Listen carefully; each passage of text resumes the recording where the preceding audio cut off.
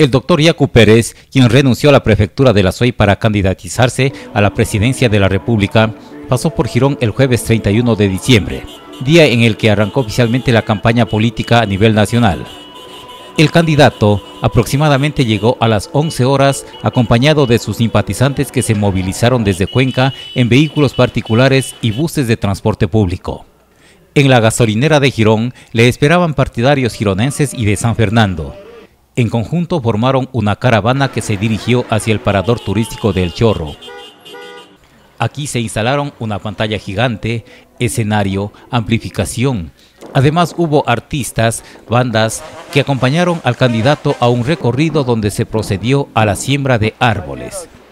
En el trayecto le solicitamos al candidato una entrevista, sin embargo no obtuvimos una respuesta positiva. En el pozo de la caída del agua del Chorro, el candidato Pérez hizo un ritual, mientras sus acompañantes tomaban imágenes y disfrutaban del paisaje. Luego se realizaron otras actividades ya en el parador turístico. Elementos policiales estuvieron presentes durante todas las actividades desarrolladas. En horas de la tarde, ya en el centro cantonal se interrumpió el tráfico por la calle Luciano Vallejo, donde se inauguró la sede de Pachacutic en Girón.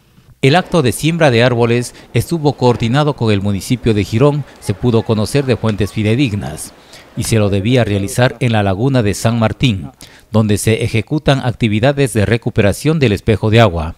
Sin embargo, conocieron que personas en San Gerardo estaban opuestas a esa actividad proselitista y debieron cambiar el lugar de concentración de inicio de campaña. La carrera hacia la presidencia de la República arrancó el 31 de diciembre y desde esa fecha los 16 candidatos contaban con 36 días, es decir, hasta el 4 de febrero, para hacer conocer sus propuestas al electorado, conformado por 13.099.150 ecuatorianos que están habilitados para votar en las elecciones del 7 de febrero de 2021. Durante la campaña los candidatos podrán realizar caravanas motorizadas y caminatas en los distintos cantones del país. Así lo ha determinado el protocolo para prevención del COVID-19 en la campaña electoral del proceso electoral 2021, aprobado por el Pleno del Consejo Nacional Electoral. En este sentido, se han establecido categorías para los cantones.